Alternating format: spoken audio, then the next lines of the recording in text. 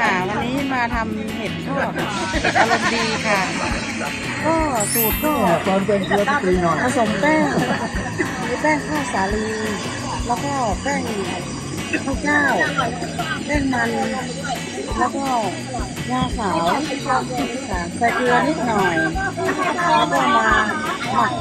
แล้วก็ทอดค่ะหมักนานเท่าไหร่คะหมักหมักเลยก็ทำทำได้เลยค่ะทอดได้เลยทอค่ะดได้เลยทอดนานเท่าไหร่คะแม่ทอดก็ให้มันเหลืองก็พอกินได้ค่ะพอมันสุกค่ะอ๋อเราเอาขึ้นถ้าถ้าเราจะเอากรอบเราก็เอาเอาให้มันเตรียมหน่อย